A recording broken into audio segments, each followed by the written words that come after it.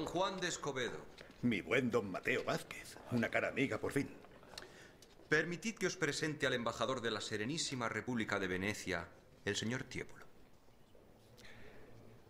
No recordaba como hombre que frecuentara las antesalas. Como podéis ver, son miserias del oficio. De un oficio que no ha cambiado en cien años. No sé ni cuánto llevo en la antesala. Su Majestad podría tener más consideración con quien obra en el nombre del gobernador de Flandes, su propio hermano. Y un héroe reconocido en todas partes, excepto en su casa, al parecer. Moderaos, señor. No voy a callarme porque yo jamás me he callado ante nadie. Y menos cuando hablo de a quien represento. Bueno, ¿y habéis vuelto ya a vuestra casa? No me lo recordéis. Sí, he vuelto a mi casa. Pero el caso es que ando corto de servicio. Sí que es una casualidad, porque estábamos hablando de una criada que va a quedarse sin trabajo. Yo regreso a Venecia a servir a mi señor el Dux. Este es un presente de despedida para las infantas. ¿Qué os parece? Muy bonito. ¿Y? Bien. Tengo que despedir a todo el servicio de mi casa. Son vagos e inútiles, pero hay una criada que es una joya y me da lástima que se quede en la calle. ¿Y decís que es de confianza? Es de una honradez acrisolada y virtuosa. Os la recomiendo. Don Juan de Escobedo. Don Juan de Escobedo. Por fin me recibe. De no ser porque me envía mi señor don Juan de Austria, habría abandonado la antesala. Señores. Oh. Sobre esa criada.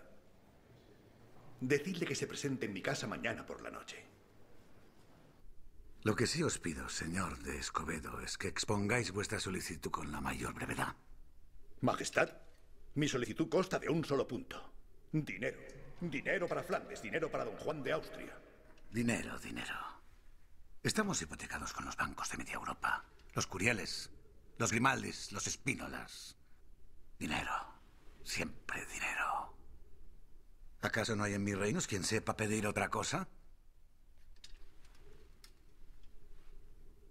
Decidme, ¿qué compraríamos con ese dinero?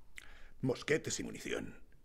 Y la paga de los hombres que llevan siete meses sin soldada. Majestad. Sosegaos. No tembléis más. ¿Y qué es lo que mi querido y amado hermanastro pretende hacer con más mosquetes? Hoy el gran enemigo en Flandes es Inglaterra.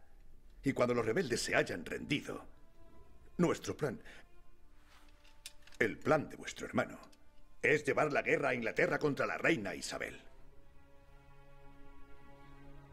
Vaya, sin duda es muy osado. Lo que don Juan pretende es librar a María Estuardo del encierro en que la mantiene la reina de Inglaterra. Así contaríamos con Escocia. Con el dinero que os pido, pagaríamos a las tropas que arrebatarían a la reina Isabel el trono. El Papa nos apoyaría. Para él sería una cruzada contra la herejía luterana. ¿Y quién, si puede saberse, ocuparía el vacante trono inglés?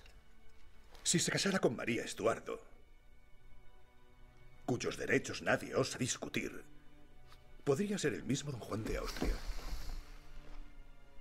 Don Juan de Escobedo, habéis vuelto de Flandes con muchas ambiciones. Demasiadas, quizá. Sé que no necesitáis un presente para recordar a un buen amigo, pero